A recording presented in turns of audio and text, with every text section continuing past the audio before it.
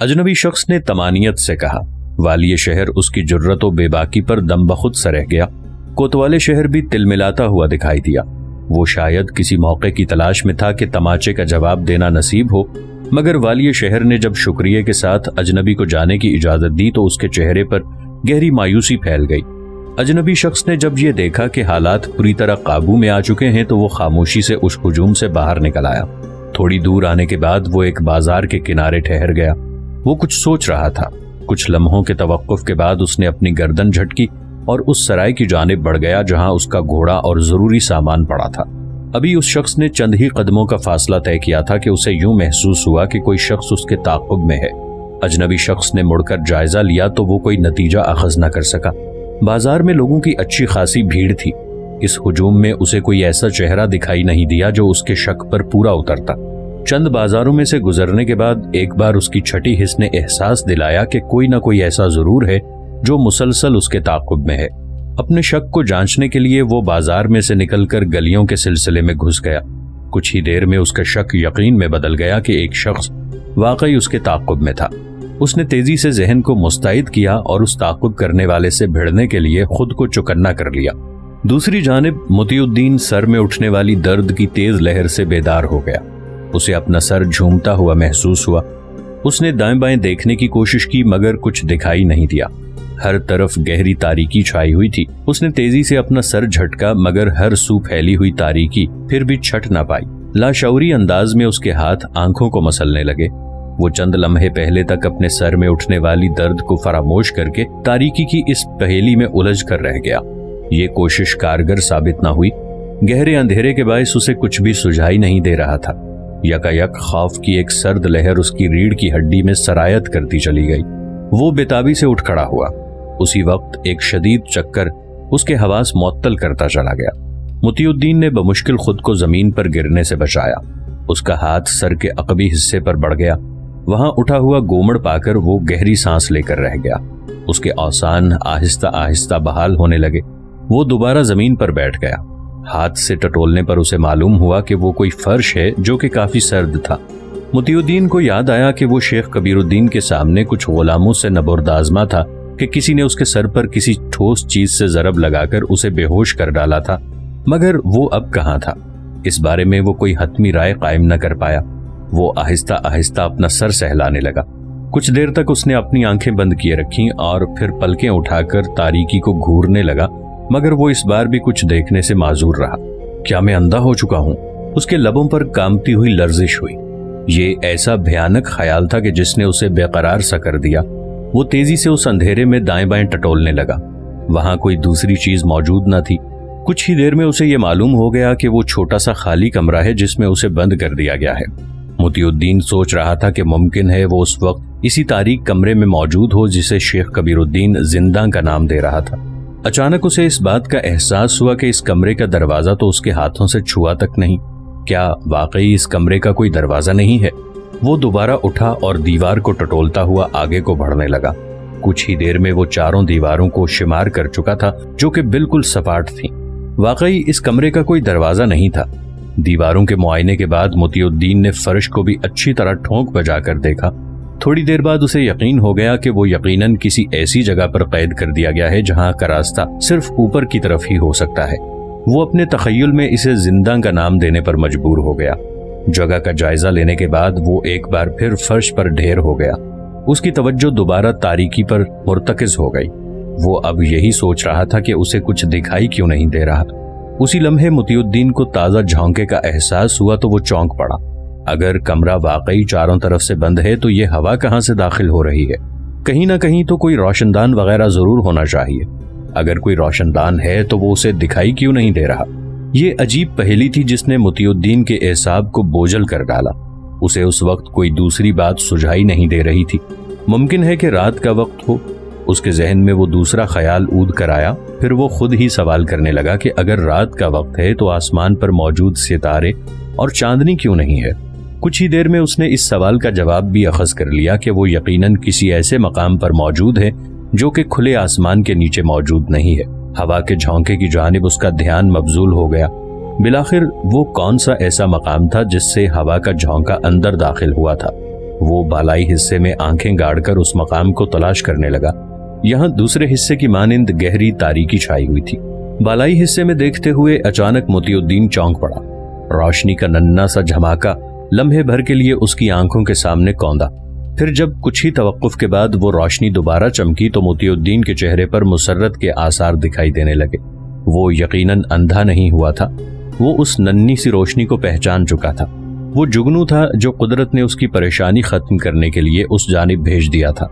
जुगनू की रोशनी चंद एक बार दिखाई दी, और फिर शायद वो जुगनू वहाँ से निकल गया। मुतियुद्दीन सोच रहा था कि छत वाले हिस्से में कोई बड़ा रोशनदान है जिसके ज़रिए ताज़ा हवा और रोशनी वहाँ पहुँच रही है और ये जिंदान किसी कमरे के वस्त में वाक़ है।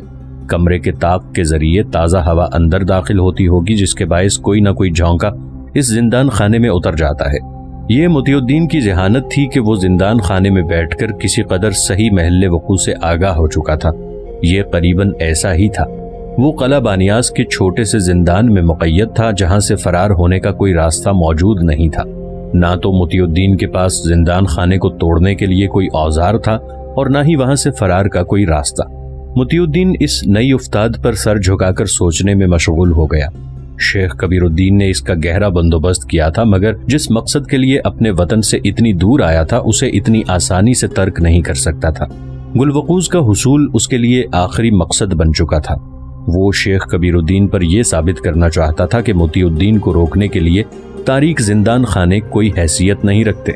दूसरी जानब, उस अजनबी शख्स ने अचानक एक आड़ में से निकलकर उस शख्स पर झपट्टा मारा जो काफ़ी देर से उसके ताकुब में लगा हुआ था। दूसरे ही लम्हे उसकी हैरत की इंतहा नहीं रही कि ताकुब करने वाला इंतहाई नहीफ बदन का मालिक था और उसकी झपटने की जद में आकर ज़मीन पर लौटता हुआ दिखाई दिया। शायद वो इस नागहानी उफ्ताद के लिए तैयार नहीं था। उसकी तकलीफ़ दे कराहों ने अजनबी शख्स को कुछ लम्हों के लिए परेशान कर दिया। उसने दाएँ बाएँ नज़र डाली। उसे गली में दूर तक कोई नज़र नहीं आया। नहीफ शख्स ओंधे मुँह ज़मीन पर गिरा हुआ करा रहा था। उसमें शायद इतनी सकत बाकी नहीं थी कि वो खुद को सीधा कर पाता। अजनबी शख्स को अपनी हरकत पर तासुफ होने लगा। उसके दिल में इंसानी हमदर्दी ने जोश मारा और उसने आगे बढ़कर उस नहीफ बदन के मालिक को पकड़कर सीधा खड़ा करने की कोशिश की। सीधे होने पर नहीफ शख्स की सूरत देखकर अजनबी शख्स चौंक सा गया। उसे वो चेहरा किसी कदर शनासा सा लगा, मगर वो बावजूद कोशिश के याद नहीं कर पाया कि उसने उसे कहाँ देखा था। कुछ ही देर बाद नहीफ शख्स की हालत किसी कदर संभल गई। वो अभी तक गहरी साँसें ले रहा था। मैं माफ़ी चाहता हूँ, मैं शायद किसी गलत फहमी का शिकार हो गया था। अजनबी शख्स ने माजरत खाना लहजे में बोला तो वो नहीफ शख्स अपनी तकलीफ़ भूलकर उसकी जानब अजीब सी निगाहों से देखने लगा, जैसे वो उसे पहचानने की कोशिश कर रहा हो। ये कैफियत अजनबी शख्स से भी ओझल न रह पाई। माफ़ी की ज़रूरत नहीं, मैं वाकई आपका ताकुब कर रहा था, लेकिन मेरा इरादा गलत नहीं था, बल्कि मुझे आप में कोई शबाहत दिखाई दी थी जिसके बायस मेरे कदम ना चाहते हुए भी आपके ताकुब में चल पड़े। वो झिझकते हुए नदामत से लरसती हुई आवाज़ में बोला, क्या मतलब? मैं कुछ समझा नहीं। अजनबी शख्स ने इस्तफसार किया। जाने क्या बात है कि ये चेहरा वो नहीं है, लेकिन आवाज़ और चाल ढाल में कोई फ़र्क नहीं है, वो नातवा आवाज़ में बोला। अजनबी शख्स उसकी बात पर मुतफक्कर सा दिखाई देने लगा। मुझे भी कुछ ऐसा लगता है जैसे मैंने तुम्हें कहीं देखा है, मगर सही तरह कुछ याद नहीं आ रहा। क्या तुम मुझे कुछ बता सकते हो कि हम पहले भी कहीं मिले थे और तुम कौन हो? बिलाखिर अजनबी शख्स ने भी दिल में मचलती हुई अपनी कश्मकश का इजहार कर दिया। नहीफ शख्स की आँखों में चमक सी पैदा हुई। क्या ये चेहरा आपका अपना है? उसने अचानक सवाल किया। क्या मतलब? अजनबी शख्स ने किसी कदर नागवारी का मुजाहरा किया। बस चेहरे के खदोखाल का थोड़ा फ़र्क है और कुछ नहीं। अगर आप ये समझते हैं कि हम कहीं मिले हैं तो ये गलत नहीं है। मेरी यादाश्त में आपकी चाल ढाल और लबो लहजा आज भी महफूज है। नहीफ शख्स तेज़ी से बोलता चला गया। अजनबी शख्स उसकी बात पर किसी सोच में पड़ गया। मुमकिन है हम दोनों को कोई गलत फहमी हो। जैसा कि अभी कुछ देर पहले तुम मेरे हाथों से बाल बाल बचे हो। अजनबी शख्स ने कहा, कई बरस बीत गए हैं, मगर मैं इस आवाज़ को फरामोश नहीं कर पाया। जाने क्यों मेरा दिल ये तस्लीम करने को तैयार नहीं कि आप वो नहीं हैं? नहीफ शख्स अफसरदा लहजे में बोला, मुमकिन है हमारी कहीं मुलाकात हुई हो, तुम अपना नाम बताओ। शायद इस तरह मुझे याद आ जाए कि मैं तुमसे कहा मिला था? अजनबी शख्स ने उसकी तशफ़ी के लिए कहा मेरा नाम अब अब्दुल्ला है, मगर पहले मंदरी हुआ करता था। वैसे ये नाम मैंने आज भी साथ जोड़े रखा है कि शायद इस तरह मैं अपने आका को तलाश करने में कामयाब हो जाऊँ, नहीफ शख्स लजाजत से बोला। मंदरी, अजनबी शख्स का चेहरा मुतगैर सा हो गया, जैसे उसे कुछ याद आ गया हो। अभी मुझे यूँ महसूस हुआ है कि आप वही हैं, मेरे आका। अब्दुल्ला मंदरी का चेहरा यकदम खिल उठा। अजनबी शख्स मुसलसल खामोशी अख्तियार किए हुए था। वो शायद इस कश्मकश में मुबतला था कि वो शनासाई का इजहार करे या ना करे। मेरा ख्याल है तुम्हारा अंदाज़ा गलत है। मैं अभी तक तुम्हें पहचान नहीं पाया। तुम्हारे मुतालिक मेरी याददाश्त में कुछ आ नहीं रहा। अजनबी शख्स ने सपाट लहजे में कहा यह सुनकर अब्दुल्ला मंदरी आजुर्दा खातिर दिखाई दिया। उसका पतला सा लंबूतरा चेहरा यूँ लटक गया जैसे उसे वाकई गहरा सदमा पहुँचा हो। उसने बमुश्किल असबात में सर हिलाया, मैं जानता हूँ कि आप वही हैं। चेहरे के खदोखाल क्यों कर बदल गए हैं? इस बारे में तो मैं कुछ कह नहीं सकता, मगर अंदाजे गुफ्तगु और बेतनाई का रवैया सौ फ़ीसद वही है। मैं ये भी नहीं जानता कि आप किस वजह से शनासाई का इनकार कर रहे हैं। मैं तो सिर्फ़ इस आज़ादी के लिए आपकी खिदमत करने का खा हूँ, जो आपके तुफैल मुझे नसीब हुई है। नहीं दोस्त, ऐसा कुछ भी नहीं। तुम्हें कोई गलत फहमी हुई है? मैं तो खुद एक बेकार सा आदमी हूँ। सैरो सियाहत में मशगूल रहता हूँ। इत्तेफाक से हम्मात निकल आया, वरना मेरा वतन तो कोई और है। मैं तुम्हारा दिल भी नहीं तोड़ना चाहता। तुम्हें किसी किस्म की कोई तकलीफ़ या परेशानी हो तो तुम बिला तकल्लुफ मुझे कह सकते हो। अजनबी शख्स खुश अखलाकी से बोला। ये सुनकर अब्दुल्ला मंदरी का चेहरा पजमुर्दा सा दिखाई देने लगा और कुछ कहे बगैर वापस मुड़ गया। अजनबी शख्स ने उसे कई मरतबा पुकारा, मगर वो रुका नहीं। उसकी मायूसी का आलम और अफसरदा हालत देखकर अजनबी शख्स का दिल तड़प कर रह गया। कई बार उसके जी में आया कि उसे साफ़ अल्फाज में बता दे कि उसकी बसीरत ने उसे कोई धोखा नहीं दिया था। मगर जाने क्या बात थी कि ये बात उसके होंठों तक नहीं आ पाई। मंदरी के लिबास से उसे अंदाज़ा हो चुका था कि वो बेहतर तौर पर ज़िंदगी बसर कर रहा है। ऐसे मौके पर वो उसकी खुद मुख्तारी और आज़ादी सलब नहीं करना चाहता था। शायद इसीलिए उसने इकरार से गुरेज किया। वो अजनबी दर हकीकत उसका असली आका बैबरस ही था, जिसने उसे आर्मीनिया से खरीदा और फिर दमिश्क लाकर छोड़ दिया। दमिश्क की सराय में उसे ज़्यादा राह देकर सुल्तान बैबरस ऐसा निकला कि दोबारा उसकी सूरत देखने की भी कोशिश नहीं की। आज इत्तेफाक से उसने बाज़ार में सुल्तान बैबरस को देखकर पहचान लिया था, मगर सुल्तान बैबरस के बदले हुए बहरूप ने शनासाई पर पर्दा डाल दिया था। सुल्तान बैबरस को इस बात पर किसी कदर हैरत भी थी कि मंदरी महज अंदाजे से उसे पहचान कर पीछे चल पड़ा था, हालाँकि वो अपनी उम्र से ज़्यादा के बहरूप में था। सुल्तान बैबरस अपनी आदत के तहत ज़्यादातर यूँ ही वक्त गुजारता था। वो उन दिनों हम्माद के इंतज़ाम का खुफिया मुआयना लेने में मसरूफ था। सुल्तान बैबरस बेहद इल्म दोस्त शख्सियत का मालिक था। इसीलिए वो अपने खुफिया सफरों में ज़्यादातर ऐसी महाफिल में बैठने की कोशिश ज़रूर करता, जहाँ इल्म बसीरत के फूल खिला करते थे। काजी जमालुद्दीन इब्ने वासिल की अदालत में उसकी मौजूदगी भी इसी जौक की मोहताज थी जो उसे वहाँ खींच लाया था। दूसरी जानब गुलवकूज को अपनी पहली मुहिम में नाकामी का शदीद दिली सदमा था। शाही सिपाहियों ने उसे कमरा अदालत से गिरफ़्तार करके कोतवाली में बंद कर दिया था, जबकि उसके साथियों को उससे अलग रखा गया था। वालिय शहर ने उसके मामले को कुछ दिनों के लिए मौखर करते हुए ये ऐलान किया था कि काजी इब्ने वासिल की सेहतयाबी के बाद वो अपने मुकदमे का खुद फैसला करेंगे। वजरा की जमात ने पुरजोर सिफारिश की कि वालिय शहर खुद जायजे के बाद गुलवकूज और उसके साथियों को मौत की सजा सुनाए ताकि बागियों पर रोब तारी हो जाए।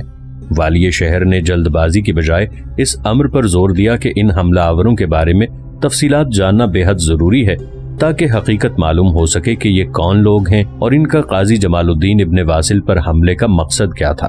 तमाम अफराद के लिए, खसूसन तातारियों नस्ल लड़की का वजूद नहायत हैरत अंगेज था। बाकी लोगों के बारे में उन्हें यकीन था कि वो मुसलमान ही हैं। ये मामला ज़्यादा देर तक छुपाया ना जा सका। कोतवाली शहर ने उन लोगों के घरों, रिश्तेदारों और अहबाब से मिलकर तफसीलात मालूम की तो ये बात सामने आई कि एक माह पहले ही रजीउद्दीन असाकी नामी अमीर वहाँ लौटा था, जो कि हम्माद का नामी गिरामी ताजिर था। रजीउद्दीन गायब अरसे में कहाँ कहाँ रहता था, इस बारे में तो सब लोग बेखबर निकले। तातारियों नस्ल लड़की की आमद का उकदा भी हल हो गया कि वो रजीउद्दीन के एक खास शराकतकार की बीवी थी, जो कि एक माह कबल रजीउद्दीन के साथ ही किसी दूसरे शहर से शादी करके वहाँ आए थे। रजीउद्दीन उन लोगों को ज़्यादा बेहतर तौर पर जानता था। कोतवाले शहर ने रजीउद्दीन को तलाश करने की बतेरी कोशिश की, मगर वो तो यूँ गायब हो चुका था जैसे उसे ज़मीन निगल गई हो। पूरे हम्मात में तमाम रिश्तेदारों और मुतव अफराद के घरों की तलाशी ली गई, मगर रजीउद्दीन का कुछ पता नहीं चला। कोतवाले शहर ने इस मरहले से फुर्सत के बाद गिरफ़्तार शुदा मुलजिमान की जानब तवज्जो की, जो कि किसी हद तक सेहतियाब हो चुके थे। उनके जख्म काफ़ी हद तक ठीक हो चुके थे। कोतवाले शहर अपनी सख्त रवि के बायस मुलजिमों से ये एतराफ करवाने में कामयाब हो गया कि वो लोग दर हकीकत फिदाई हैं और काजी जमालुद्दीन की फिदायत पर कड़ी तनकीद और मुखालफत के बायस वो उस पर हमलावर हुए हैं। उनके इस इकबाल जुर्म के बाद ये मामला दूसरी सूरत इख्तियार कर गया था। वाली शहर को जब रिपोर्ट दी गई तो उसका माथा ठनक सा गया। उसने ये कयास किया कि अगर वाकई ये हादसा मजहबी मुनाफरत के बायस रूनुमा हुआ है तो ये फ़िरका वाराना फसाद को हवा दे सकता है क्योंकि बिलाद शाम में फिदायत के हामियों की तादाद कम नहीं थी। उसने इस हसास मामले के लिए अपनी मुशावरत तलब की और बेहतर राय मालूम करने की कोशिश की। मुशावरत के अहबाब ने फिदायत पर अपनी नापसंदीदगी का इजहार करते हुए ये ज़ोर दिया कि वाली शहर इस चक्कर में ना पड़े, बल्कि मुजरिमों को सख्त से सख्त सजाएँ दे, ताकि ऐसे तमाम गिरोह जो अपने नाकिस और खुद साख्ता अकायद की खातिर कताल जैसी इंतहा पसंदी पर उतर आते हैं, उनके हौसले पस्त हो सकें। वाली शहर ने बादल नाखास्ता मुशावरत की मुतफ़ राय के तहत फिदाई मर्दों के लिए तो उनकी ये तजवीज़ मंजूर कर ली और बाकी फिदाई मर्दों को सेहतियाबी के फ़ौरन बाद सरेआम मौत की सजा सुना दी। मगर तातारियों नस्ल मुजरिमा औरत का मामला दूसरी सूरत इख्तियार कर गया। इस मामले में उमरा की दो अलग अलग आरा सामने आई। वाली शहर ने हिचकिचाहट का मुजाहरा किया और औरत के लिए ऐसी सजा को नामुनासिब करार दिया। मजलिस मुशावरत ने वाली शहर के जवाज की मुखालफत में कई दलीलें पेश की और ये साबित करने की कोशिश की कि औरत को बतौर मुजरिमा मर्द के बराबर की ही सजा देनी चाहिए। वजरा की जमात ने तारीख की कई मिसालें भी पेश की, जबकि दूसरे गिरोह ने अपने मौकफ पर दलाइल दिए। मगर वाली शहर की हिम्मत नहीं पड़ी कि वो तातारियों नस्ल औरत के लिए किसी सजा का ऐलान कर देता। उसने गुफ्तगु का सिलसिला समेटते हुए ये हिदायत की कि इस मसले को फिल वक्त काजी जमालुद्दीन के लिए छोड़ दिया जाए और वो अपनी सेहतियाबी के बाद खुद ही कोई फैसला करेंगे। वो जरा और वाली शहर के हतमी फैसले पर खामोश रह गए। कैद खाने में गुलवकूज को मुतला कर दिया गया कि उसके साथियों की गर्दनें उड़ाने का हुक्म जारी हो चुका है और अगली सुबह उनकी गर्दनें धड़ से अलग कर दी जाएँगी। गुलवकूज ने इस इतला पर कोई तबसरा नहीं किया, बल्कि वो खामोश निगाहों से कैद खाने के दरो दीवार घूरती रही। वो इस पहलू पर गौर करने में गलता थी कि कैद खाने के दरो दीवार कैसे उबूर किए जाए।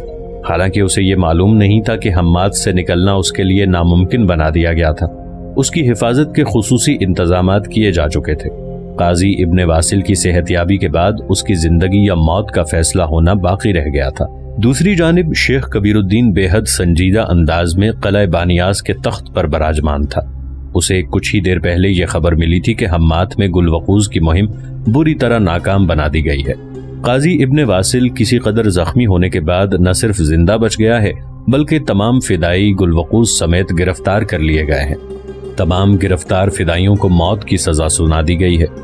शेख कबीरुद्दीन ने गुलवकूज के बारे में दरियाफ्त किया तो उसे कोई वाज जवाब न मिल सका।